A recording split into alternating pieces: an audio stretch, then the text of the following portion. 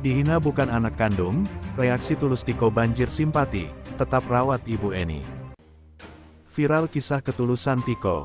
Dia tak pernah membayangkan akan segini jauhnya perjuangannya demi hidup lebih baik dengan Ibu Eni. Setelah kisahnya viral, Tiko malah dirundung berbagai masalah baru. Beberapa orang muncul menghujani Tiko dengan fakta menyakitkan. Mulai dari bukan anak kandung, hingga tudingan Tiko hanya mengarang berbagai cerita untuk undang simpati orang. Meski begitu, masih banyak orang yang juga membela Tiko. Sekelompok konten kreator yang sudah sejak lama mengenal Tiko ambil bagian untuk pasang badan. Tiko tak sendirian menghadapi cacian dari pihak keluarga ayahnya.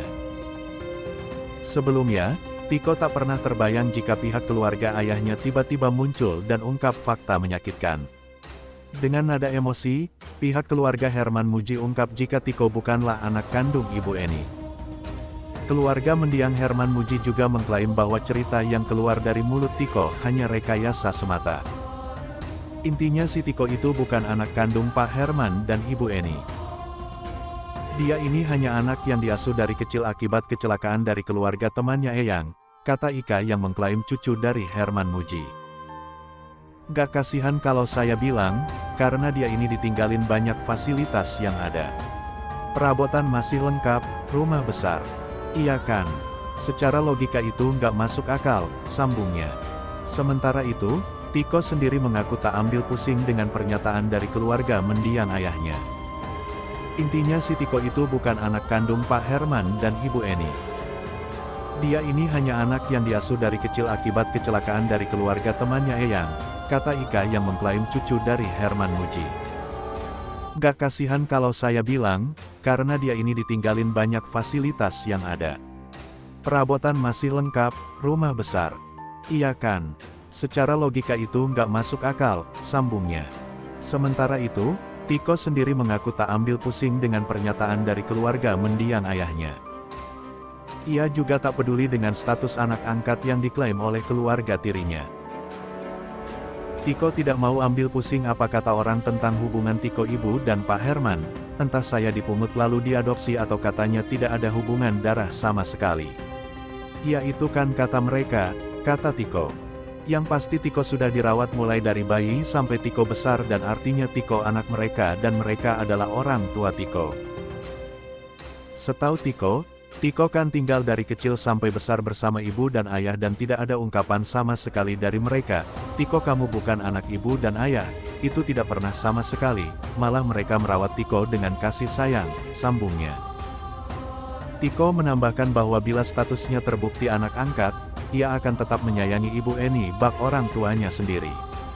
Atau kalaupun Tiko bukan anak kandung ibu Eni dan Pak Herman, tapi Tiko tetap sayang kok sama mereka dan menganggap mereka adalah orang tua Tiko, paparnya. Bayangin dari bayi Tiko dirawat, dikasih makan, dibeliin baju, disekolahin dan masih banyak lagi. Apa ada alasan Tiko tidak menganggap mereka orang tua Tiko? Logikanya deh, pungkasnya. Kabar yang kedua. Tiko diperingatkan netizen hati-hati untuk bicara, karena kubu Herman Muji Susanto mulai bermunculan. Sosok Tiko diperingatkan netizen untuk lebih hati-hati lagi dalam memberikan pernyataan ke publik, soal kisah miris selama ini merawat sang ibu di rumah mewah yang tidak ada listrik dan air.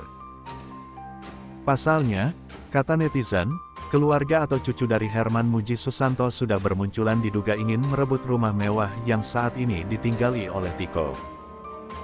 Peringatan itu disampaikan netizen di kolom komentar unggahan Instagram @ashanti tanda hubung. Untuk Tiko mulai berhati-berhati untuk memberikan statement karena kubu ayahmu sudah mulai bermunculan, tulis netizen.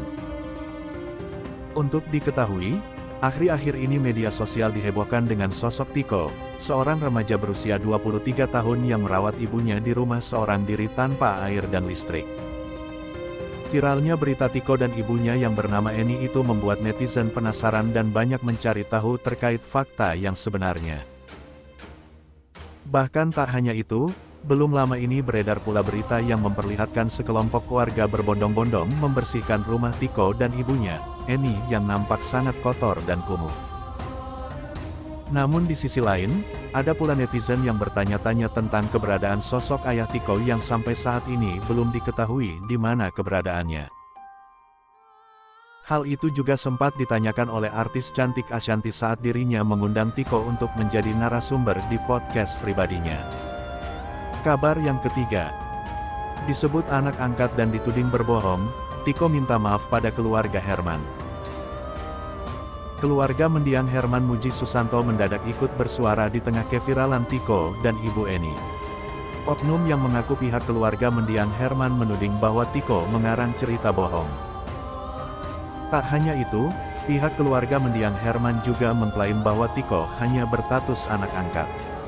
Hal itu membuat Tiko langsung buka suara. Ia bahkan mengucapkan kata maaf pada keluarga mendiang ayahnya. Terkait yang terjadi, saya tahu bahwa yang saya lakukan agak lancang dan menyakiti perasaan pihak almarhum keluarga papa saya, kata Tiko, melalui kanal YouTube Pratiwi Novianti.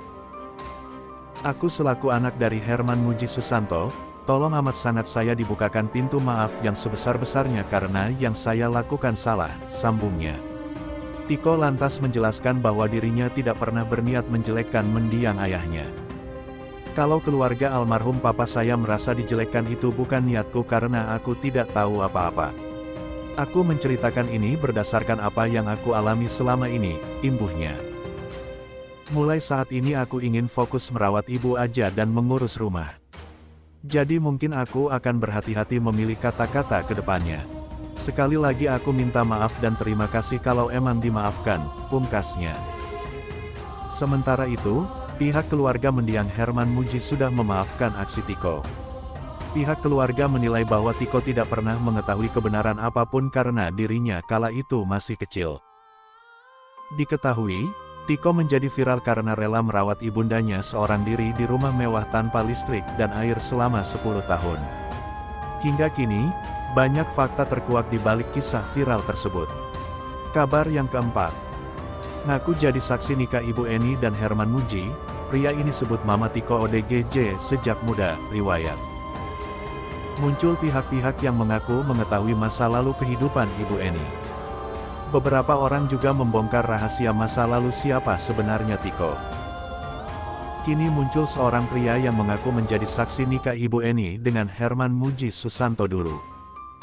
Nama Tiko belakangan ini tak pernah lepas dari sorotan publik. Setelah kisahnya viral, banyak orang yang simpati dengan Tiko.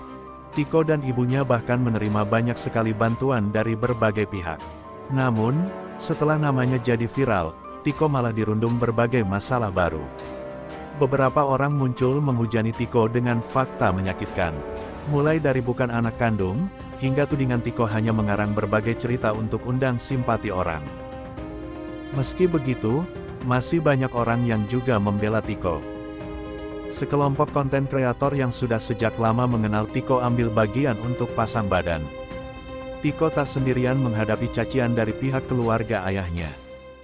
Baru-baru ini, seorang kerabat Tiko menyebut bahwa Bu Eni pernah masuk RSJ semasa muda.